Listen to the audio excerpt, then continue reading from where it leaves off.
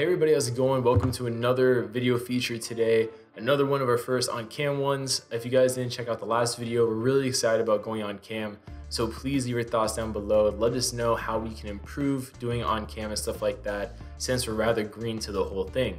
But today we're gonna talk about actually a really cool Godzilla King of the Monsters thing, which is an extra post-credit scene that eventually was cut from the movie. But thanks to director Michael Dougherty, we now know the details of it. So a lot of people from the beginning, ever since Godzilla King of the Monsters was in production, were really excited about the character kind of growth that we get with hopefully the human characters and Monarch and their involvement with the Mutos, now called Titans. And even besides that, another thing for me personally I know I was really excited about was the world building with all the different monsters we would receive, not just Kong and not just Ghidorah, but you know, this version of Mothra, the really cool version of Rodan we got, and of course all the other Titans around the world that eventually were revealed. And with a character like Mothra, that was always a character when I saw the movie I didn't think I'd be super invested in, and even when I left the movie I wasn't invested in the character, but I was definitely intrigued by this adaptation and I was hoping to see more, but unfortunately due to how the movie ended, it was left rather ambiguous if we'd see another Mothra in the future. However, it turns out originally it was planned to confirm to the audiences in an extra post-credit scene, not only would Mothra continue on in some way, like in memory so to speak, but there would actually just be another Mothra down the line ready to hatch. And according to Michael Dougherty during an interview with comicbookmovie.com, he says, there was one we shot with Charles Dance obviously buying King Ghidorah's head, but there is a second one that we had written, boarded, and even had locations scouted for and costumes ready to go. It basically involved uh, Zhang Ziyi's character, and I'm sorry if I mispronounced that, and is set in the aftermath of the film. She's in Tokyo and goes into some sort of restaurant or bar and goes down a set of stairs and ends up in what looks like an ancient temple that's eerily similar to the one we saw in the beginning of the film in China. Then she meets up with her identical twin sister, and the twin sister is expressing concerns about whether they should go through with what they're doing or not. And basically, we see some young girls that are very young, and they're kind of questioning if they're ready for what they're about to do.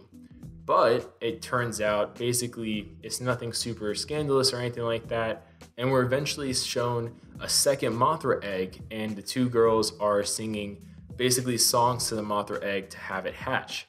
So this would have been a really cool thing to see, obviously in the big screen, not only confirming another adaptation of the Mothra twins, but also confirming we may get another version of Mothra in Godzilla vs. Kong, which comes out next year as of when I'm recording this.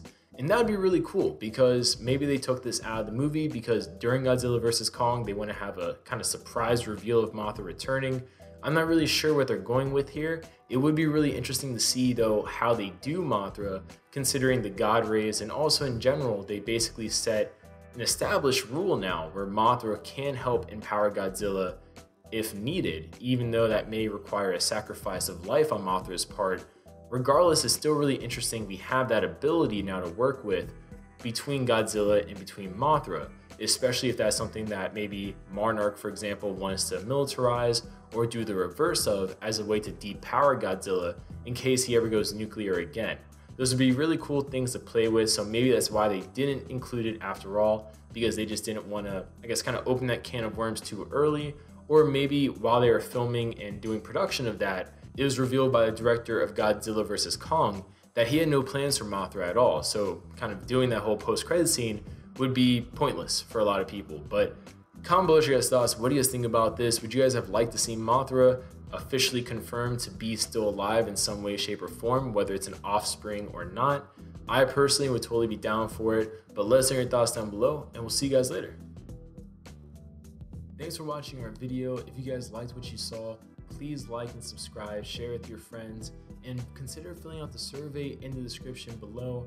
It's just some stuff for us to find out ways we can better make our content, whether it's the lighting, the camera, you know, the audio, the video, whatever it may be. We want to make the best content possible for you guys here at HN.